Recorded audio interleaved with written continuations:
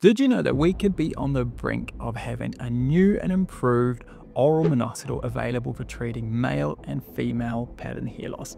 This new drug, VDPH L01, is said to be four times better than the current minoxidil options that we have available to us, and it's also said to be tolerated better from a side effect perspective.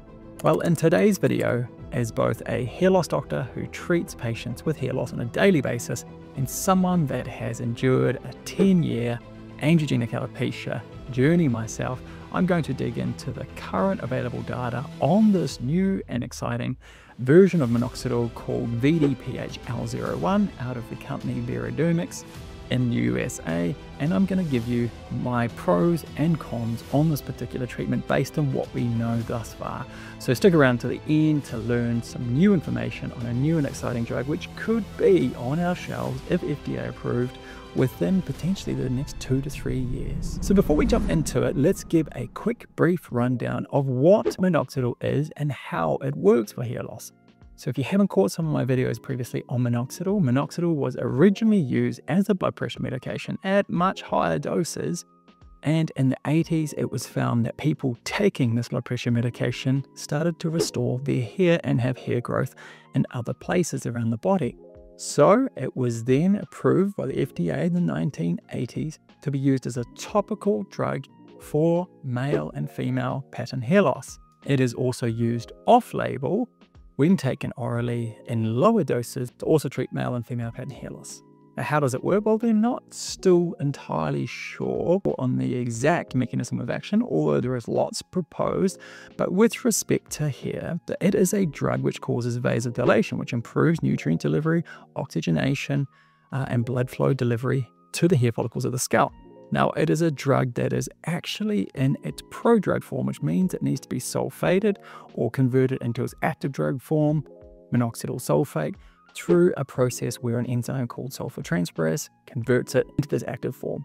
Now, what's interesting is that only a certain percentage of the population actually have high numbers of this particular enzyme, which then means not everyone gets the benefits of this drug for their hair. From a hair loss perspective, it is said to work on various different signaling pathways, one of which is the beta catenin signaling pathway, and it is also said to potentially lead to the release of certain growth factors in the scalp.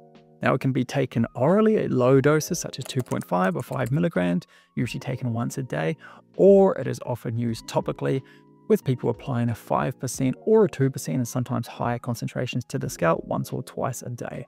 The downside that the found over the last 40 years is that about 90% of people actually discontinue using this drug due to either a lack of efficacy or effectiveness or side effects. Now, some of those side effects can be things such as when you're using it topically, pruritus or itchiness of the scalp, a premature telogen effluvium, where about 10 to 20% of people can experience a, a, transient shedding of the hair before they actually get any gains, and that can occur over a six to eight week period.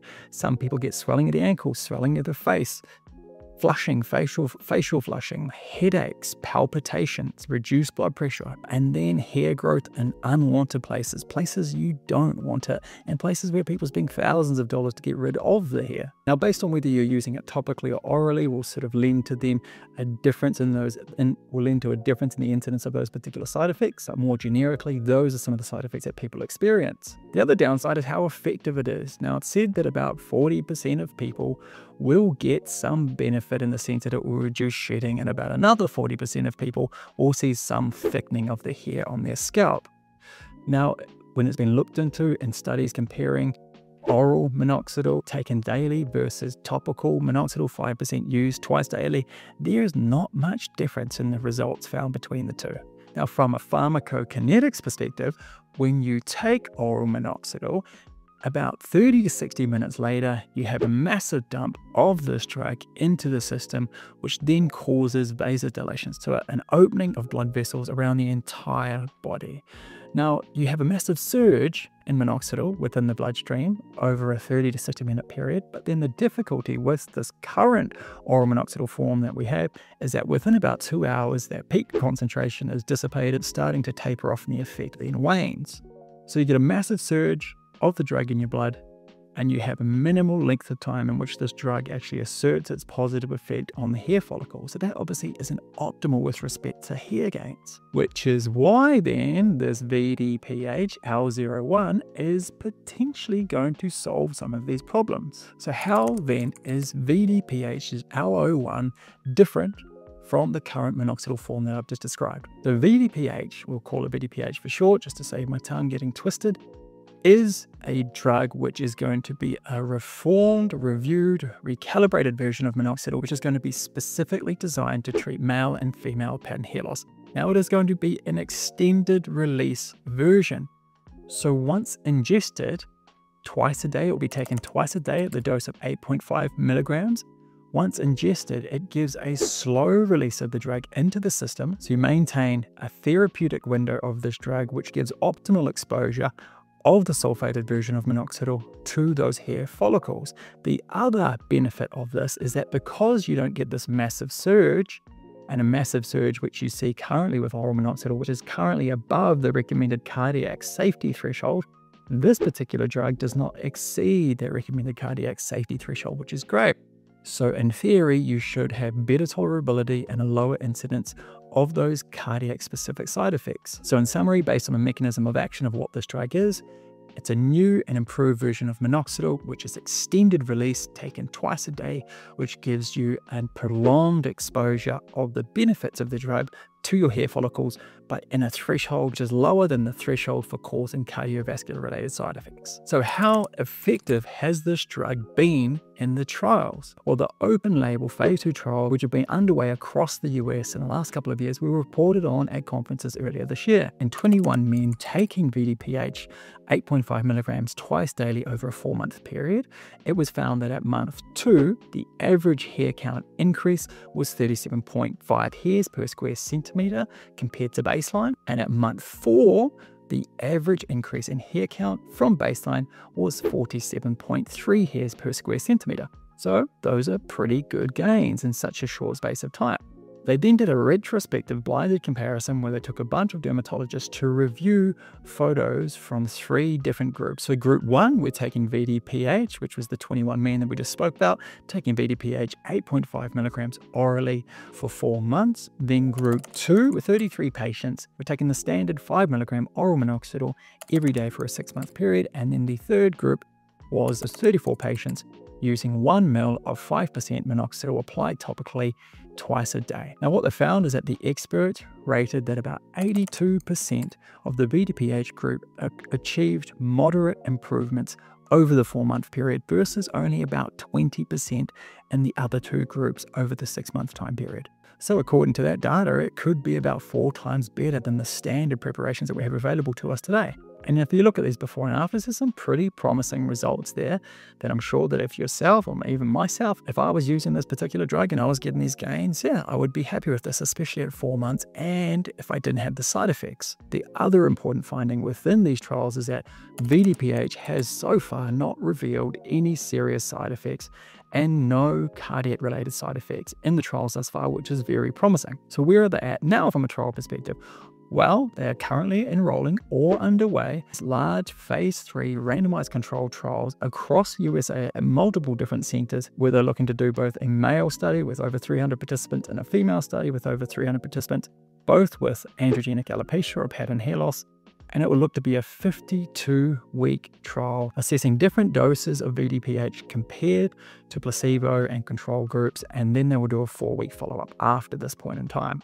Now, all going well, this could potentially be approved within the next two to three years. There has been over $220 million raised by investors over the last 18 months, so there is big confidence in this drug being the third only ever FDA approved drug for treating male and female pattern hair loss. That all being said, what is my take on this? As a hair loss doctor, as someone that treats hair loss on a daily basis and someone that has had good exposure to pharmaceutical companies in prior roles as a chief of medicine of one of the largest cosmetic companies in the world. Well, let's focus on the positives first.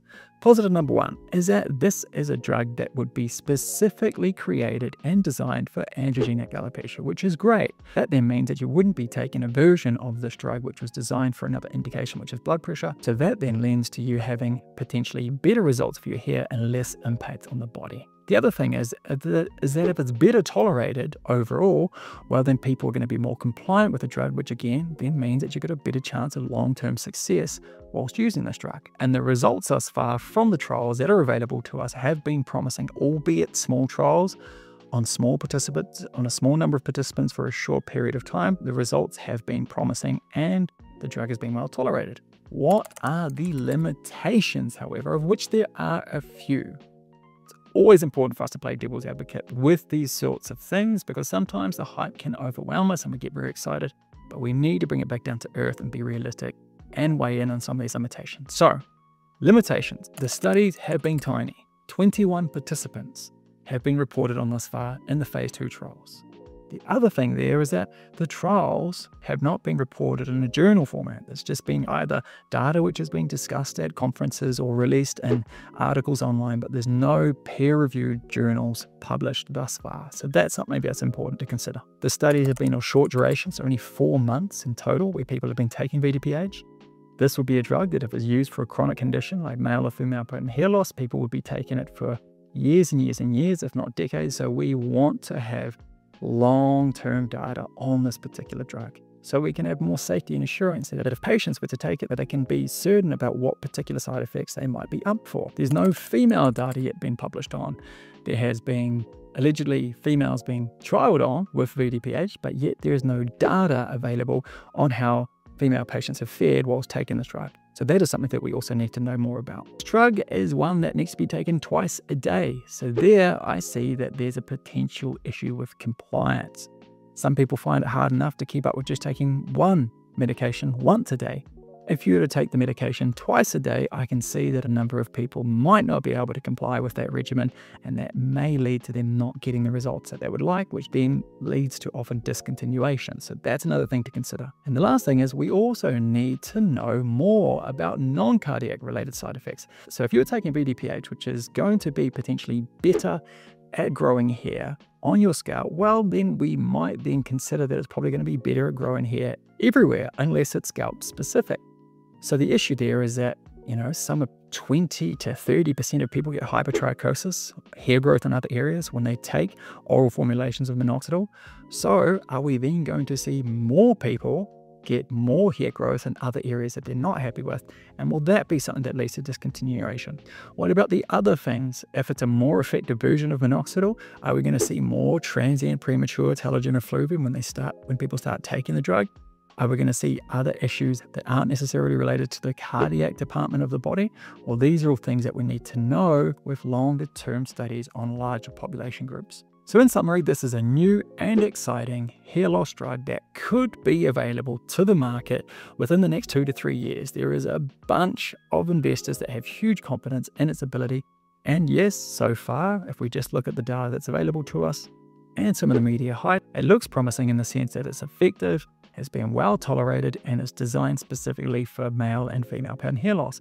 We just need more time to know though, however, if in actuality this drug lives up to the hype and the safety factor also lives up to the hype. So I hope you've enjoyed today's video. If you have any comments, please drop them in the comment section below.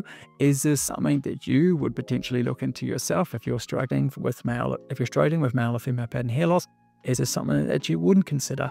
Have you looked into it? Have you done your own research? Post in the comments below. And if you hadn't subscribed yet and you like these videos, well, please like and subscribe. Look forward to bringing another video next week. We jump back into the finasteride side of things. I just wanted to take a brief pause on the finasteride to deliver this one whilst it is new and exciting and hot off the press. Have a good week. See you next week. Cheers.